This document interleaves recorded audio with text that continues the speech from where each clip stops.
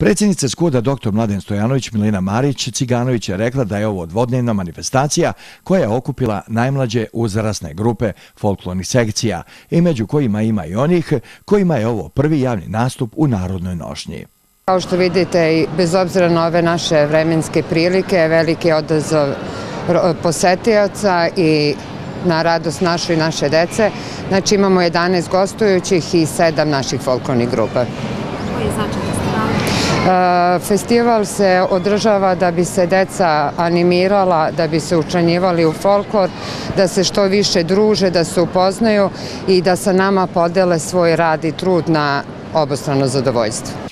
Festival traje dva dana, prve večeri su nastupili najmlađi članovi skuda dr. Mladen Stojanović, njihova sekcija iz Gornjih Orlovaca, zatim kud Piskavica, kud Saničani, kud Brdo Hambarine i kud Kozara Prijedor. Tako da ne, ovo je jedan lijep razigrana mladost, već to traje e, duže vrijeme i to kulturničko društvo Mladen Stojanović odlično organizuje i mi smo učestvovali jednu godinu ranije, ja mislim, pre nekoliko godina i ja čestitam organizatorima u ova teška vremena današnja gdje nema novca ne za kulturu najmanje da uspijevaju da organizuju tako. Na dosadašnjim festivalima učešće je uzelo više od 40 kulturno-umjetničkih društava i 7000 učesnika.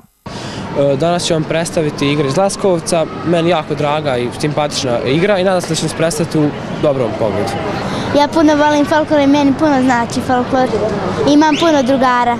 Imam šest godina i igram folklor. E, da li voliš folklor? Da. Zbog čega? E, jer imam puno drugara i mnogo mi znači i baš se lijepo družimo. Ova manifestacija koja ima za cilj očuvanje narodne tradicije i koja svake godine je ispraćena sa velikim brojem gledalaca.